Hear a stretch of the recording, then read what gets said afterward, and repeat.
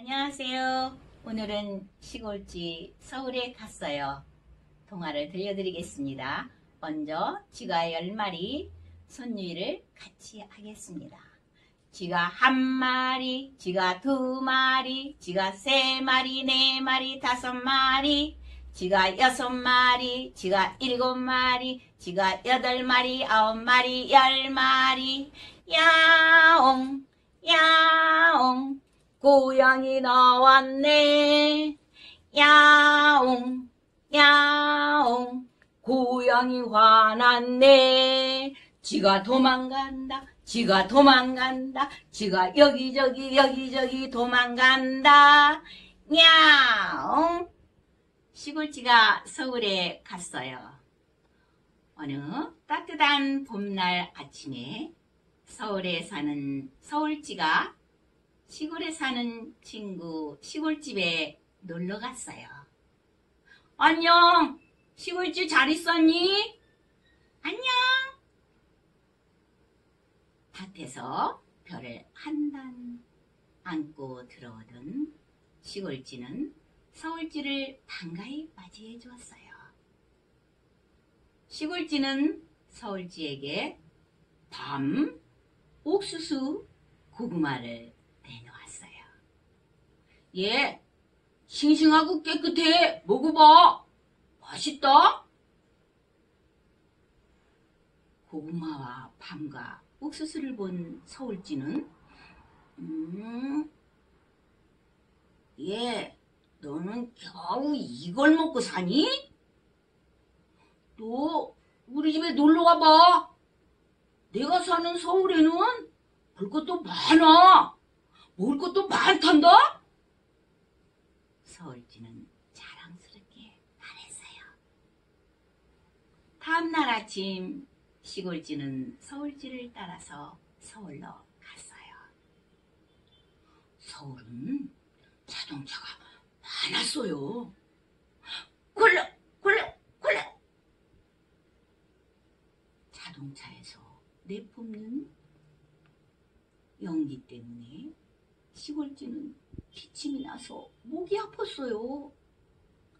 목이 마른 시골쥐는 물을 벌컥 벌컥 마셨어요.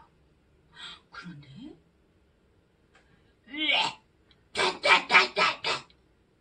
시골쥐는 마신 물을 모두 모두 토해버렸어요. 시골쥐가 마신 물은 기름이랑 쓰레기랑 비누 거품이 둥둥 떠다니는 아주 더러운 하수도물이었어요. 나는 마셔도 괜찮은데? 서울쥐가 말했어요. 서울쥐는 시골쥐에게 먹을 것을 내놨어요. 예, 많이 먹어. 내가 또 줄 수 있어. 피자, 햄버거, 소세지, 도너스. 온통 처음 본 음식이어서 시골쥐는 눈이 둥글해졌어요. 침을 꿀꺽 삼키고 우와 맛있겠다! 시골쥐는 이것저것 이것저것 정신없이 먹다가 그만 배탈이 났어요. 아이고 매워! 아이고 매워! 시골쥐는 떼굴떼굴 굴렀어요. 밤이 됐어요. 여기저기 빨강, 노랑, 파랑, 초록 불빛이 번쩍 번쩍 반짝 반짝 아이고 어지러워 시골쥐는 반짝이는 불빛에 어지러워서 정신을 못 차렸어요. 시골쥐는 서울쥐와 같이 골목 안으로 잠을 자러 갔어요. 골목 안에는 음식 쓰레기, 쓰레기 봉투가 수북히 쌓여서 너무너무 더러웠어요. 냄새가 났어요. 서울지는 헌 운동화 속으로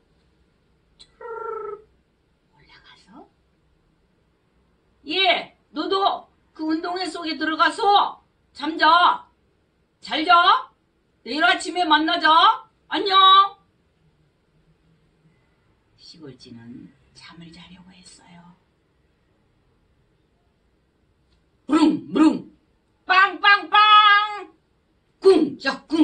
꿍짝 너무너무 시끄러워서 잠을 잘 수가 없었어요. 갑자기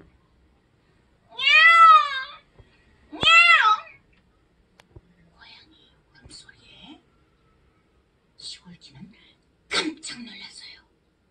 무서워서 발발발발발 떨다가 밤새도록 한 잠도 못 잤어요. 아침 일찍 시골쥐는 일어났어요. 서울쥐에게 말했어요.